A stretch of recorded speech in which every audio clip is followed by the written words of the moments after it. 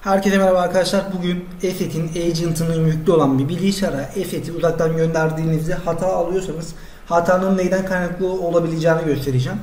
Muhtemelen hazırladığınız trigger vardır. Ee, bu e, polisi düzgün çalışmıyordur veya e, sürüm eskidir. O yüzden yüklenmiyordur.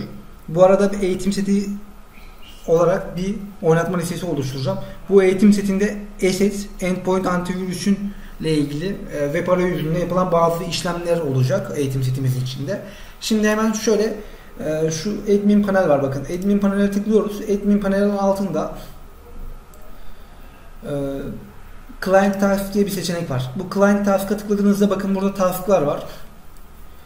Bizim e, client'lara antivirüs gönderdiğimiz task bu. Endpoint antivirüs. Task'ın ismini bu koyduk. Size farklı olabilir. Bunun üzerine tıkladığınız zaman bakın bir tane bekleyen var. Eğer burada birden fazla bekleyen varsa gönderemiyorsanız burada edit'e tıklıyorsunuz öncelikle.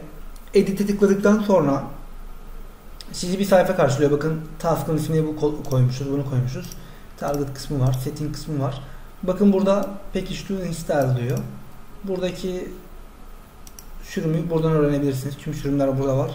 Eğer burada olmayan sürüm ise gönderemiyordur. Sizin yani şurada ESC yapayım. Şu sürüme bakın bende 7.1 nokta 2045'miş nokta 5 2045.5'miş benim sürümüm. Ve Windows 10 7.8 için uygun olan bir sürüm. Daha eski sürümler de var burada. Bunu seçiyorum ve OK'ye tıklıyorum. Yani şunu da kapatalım. OK dediğiniz anda şurada OK diyorsunuz. Siz ben de yeni sürüm olduğu için OK demiyorum. Şurada yani şunu da istiyorsunuz. Package to install. Yani yüklenecek olan paketi buradan seçiyorsunuz daha sonra cihazlarınıza yollayabilirsiniz. Bakın şurada benim şu an e, bir tane cihazıma gitmemiş. Daha fazla cihaza da gönderebilirsiniz. Onun için de şu computer'a tıklıyorsunuz. Onu da şöyle Paint üzerinden göstereyim. Yani cihazlara, client'lara, agent yüklü client'lara e, antivirüs göndermek için yapacağınız işlem de şu. Aslında bu başka bir videonun konusu olmalıydı. E, şurada computer seçeneğine tıklıyorsunuz kalemle kırmızı yapayım.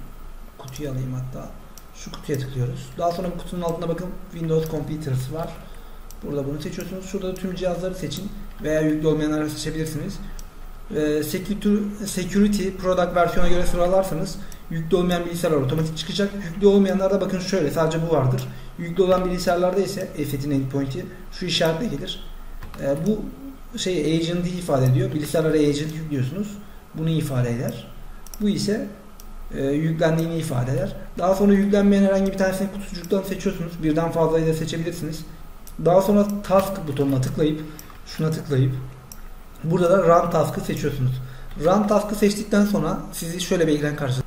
Sizi karşılayacak ekran bu. Burada da e, hangisi ise bakın software install diyor. Bu benim e, endpoint'i gönderdiğim şey task'ım. Bunu seçiyorum. Bakın edit bu da kullandığım versiyon bu. Bunu seçip buradan da finish dediğim anda tamamına gönderiyor. Toplu olarak göndermek istiyorsanız onun için de e, ben şöyle bir şey oluşturdum burada. Yine farklı videoda e, farklı başlıklar anlatacağım ama bu videoda onu da göstereyim. Ya gerek yok onu göstermeye. Burada finish dediğiniz anda